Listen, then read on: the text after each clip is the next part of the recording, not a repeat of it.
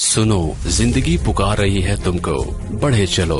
दी standard college रोशन पुरअज़म और सेहतमंद मुस्तकबिल का अमीन। ज़िंदगी को बावकार तरीके से रवा दवा रखने और नौजवानों के महफूज मुस्तकबिल के लिए स्टैंडर्ड कॉलेज ने ऑनलाइन क्लासेस का आगाज़ किया है, ताकि हमारे बच्चे तालीम की शाहराह पर गामजन रहे। गैर यकीनी हालात में यकीनी मुस्तकबिल। दी स्टैंडर्ड कॉलेज के साथ admission open F S C I C S I com F A B S zoology chemistry physics, math, CS, IT, economics, English, psychology, BBA, BA, BSc, BCom आए पाकिस्तान को आगे बढ़ाएँ मुहतात होकर और एतमाद के साथ।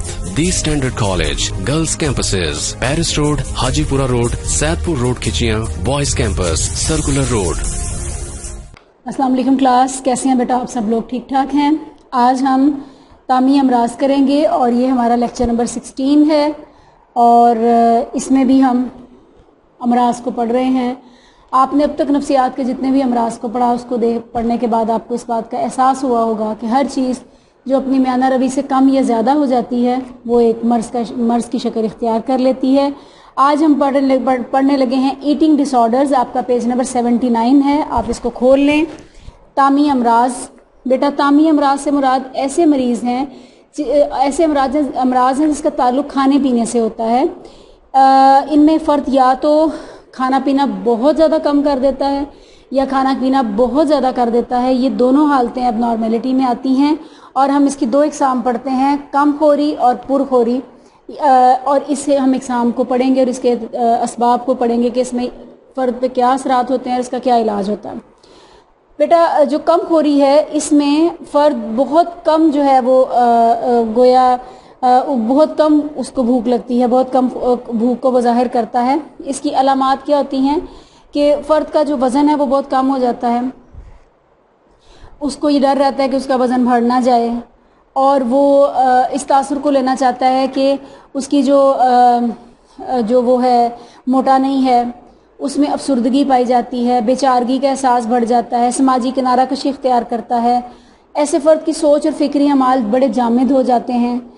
पेशकदमी की सलाहियत कम होती है, बेसाख्तगी की कमी होती है। खाना खाने से बहुत ज़्यादा घबराते हैं, कहीं हम मोटे ना हो जाएँ, हमारी जिसम की साख ख़राब ना हो जाए। कम खोरी की आदि अफराज जज्बात के इजहार पर हद ज़्यादा कंट्रोल करते हैं। और हर वक्त अपने वज़न के बारे में कॉन्शियस रहते हैं। ऐसे अफराद हद से ज़्यादा चाहते हैं कि जो तरदीद हकीकत को बतौर दफाई मकानियत के इस्तेमाल करते हैं, इनमें बेचैनी ज़्यादा होती है। जिनसी किरदार में ये अदम दिलचस्पी का मुजाहरा करते हैं और ये फ़र्द खाने पीने के मतलब जो हैं, वो ज़्यादा कोशिश नहीं करते, बल्कि उससे दूर भागते हैं कि कहीं हम मोटे ना हो जाएँ। कुत मुदाफ़त की इनके अंदर कमी होती है, इनके जिसम के दर्जा हरारत बहुत कम होता है जल्द जल्द खुश्क हो जाती है, हड्डियाँ लागर हो जाती हैं। कब्ज़ और मैदे का दर्द जो है वो इसमें वो के वो शिकार रहते हैं, काहली रहती है, नींद की कमी रहती है, वज़न की कमी इनके अंदर रहती है। इसके बरक्स जो दूसरी किस्म आती है वो है पुरखोरी। इसमें क्या है कि इस मर्ज़ में फ़र्द को इब्तदाई तौर पर खाने का दौरा पड़ता है। वो बहुत तेज़ी से कम वक्त में बहुत ज़्यादा खाना खा लेता है। और फिर उसे को खाने से रोक नहीं सकता जब वो खा रहा होता है, क्योंकि तकलीफ़ है ना। उसके बाद खाने के बाद वो ऐसा बेबस हो जाता है, उसको ये महसूस होता है कि अब ये तो मैं बहुत ज़्यादा खा चुका हूँ वो बददिल होता है, मेरा वज़न बढ़ेगा। अब वो क्या करने की कोशिश करता है, हलक में उंगलियाँ देता है। बार बार वॉशरूम जाता है कि किसी तरह से वो इसको जो है वो ज़ाया करे और पतला हो। इसकी अलामत क्या होती हैं कि बेटा इसमें फ़र्द को हर दो दो घंटे बाद दौरे पड़ते हैं खाना खाने के, वो छुप छुप के खाने खाता है। उसके बाद उस पर एक अफसरदगी तारी हो जाती है कि मैं मोटा हो जाऊँगा। फिर वो उसको आ, कम करने के लिए वॉमिट करने की कोशिश करता है। आ, दूसरों को बत, बताने से डरता है कि मैं कितना खाता हूँ।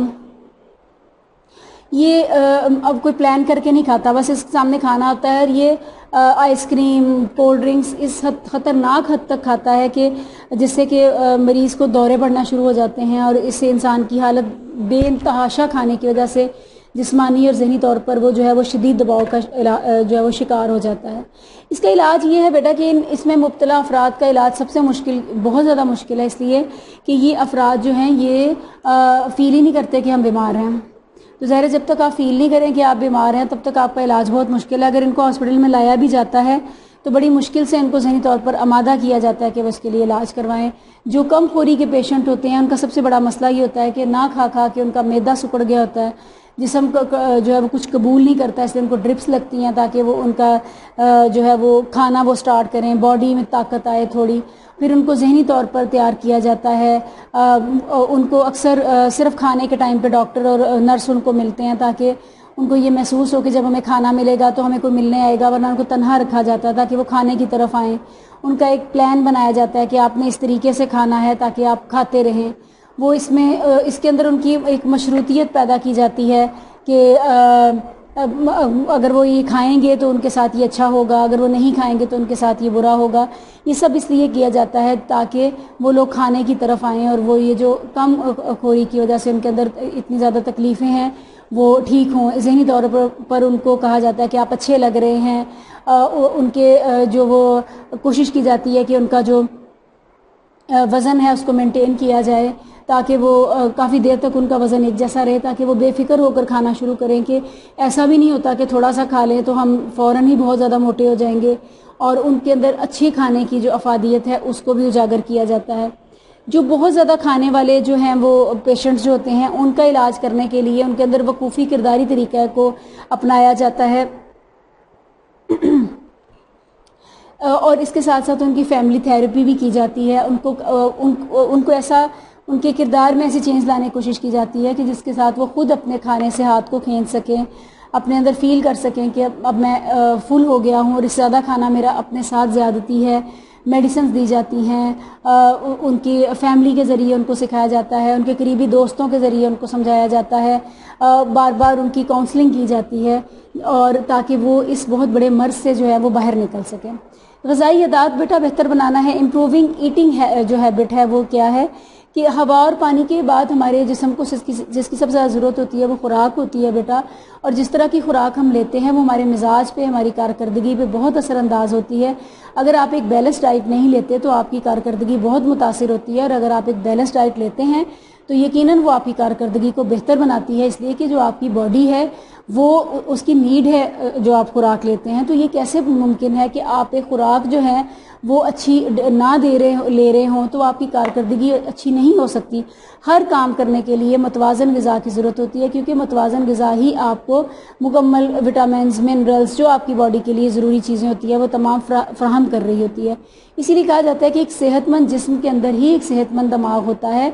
अगर आपके जहन के अंदर अगर आपके अंदर क़वत मुदाफ़ियत ही नहीं है, अगर आपके अंदर जो है वो वो ताकत नहीं है बात करने की तो आप तो अपनी बात तक को कन्वे नहीं कर सकते। ये तमाम चीज़ें ताकत से होती हैं और ताकत हमेशा अच्छी खुराक खाने से मतवाजन गज़ा खाने से आती है। ऐसे नहीं आ सकती आपके अंदर कि आप एक अच्छी डाइट ना लें। ऐसे ही जो लोग जिस्मानी बीमारी का शिकार रहते हैं आपने देखा होगा वो अपने काम को अच्छे तरीके से सरंजाम नहीं दे सकते दे, दे पाते और वो समाजी दूरी का शिकार होते हैं क्योंकि वो हर काम को आज से कल पर डालते हैं क्योंकि उनकी बॉडी उनका साथ नहीं देती। अगर आप एक मतवाजन गज़ा लेते हैं तो आप बीमारियों का कम शिकार होते हैं, आपके अंदर कुत मुदाफ़त बढ़ती है, और जब आपके अंदर कुत मुदाफ़त बढ़ती है तो आपके अंदर बीमारी इतनी जल्दी आप पर हमलावर नहीं हो सकती, और आपके अंदर भी पूरी कुत मौजूद होती है कि आप उसका मुकाबला कर सकते हैं उस बीमारी से, और ये तमाम तब मुमकिन है जब अल्लाह की दी हुई गज़ा को आप मतवाजन तरीके से खाते हैं। अगर आप मतवाजन तरीके से नहीं खाते तो आप जब जहनी जिसमानी तौर पर कमज़ोर होते हैं तो आप जहनी तौर पर भी मज़बूत नहीं रहते, आपकी कुत फ़ैसला मुतासर होती है, आपकी कुत कारकर्दगी मुतासर होती है और ये तमाम चीज़ें जब मुतासर होती हैं तो ये आपकी जो लाइफ है उसको डिस्टर्ब करती हैं, इसलिए कि आप हर काम के लिए बहाने ढूंढते हैं, आप किसी जगह बैठे हैं तो बैठे ही रहते हैं, बहुत ज़्यादा खाना भी आपको आपके काम से दूर कर देता है और बहुत कम खाना भी आपको आपके काम से दूर कर देता है, हर चीज़ में म्याना रवि ही आपको एक सही रास्ते पर लेके जा सकती है, वो समाजी भी हो सकता है, वो आपके फ़ैसला करने की कुत भी हो सकता है, वो आपकी अपनी ज़िंदगी भी हो सकती है। तो गज़ाई अदात को बेहतर बनाने के लिए ज़रूरी है कि हम गज़ा और गज़ाई अदात को अपनाएँ, अच्छी गज़ाएँ खाएँ, बेशक वो कम मकदार में खाएँ, लेकिन वो आपको ताकत दें और किसी भी चीज़ को मैं खपत की हद तक उसमें मुबतला ना हूँ, बहुत ज़्यादा खाने की हालत में भी और बहुत ज़्यादा इस हालत में भी कि हम मोटे ना हो जाएँ, ये दोनों हालतें इंसान के लिए नुकसानदेह होती हैं। तो बेटा, आज हमने इसकी इकसाम को पढ़ा है। इसके इसबाब को पढ़ा है, इसके इलाज को पढ़ा है और बेहतर गज़ा को पढ़ा है कि उसको कैसे अपनाया जा सकता है। बेटा, ये आपको इतने छोटे छोटे टॉपिक्स इसलिए करवाए गए कि आपके शॉर्ट क्वेश्चंस भी इसी तरीके से तैयार हों, आपके लॉन्ग क्वेश्चंस भी इसी तरीके से तैयार हों।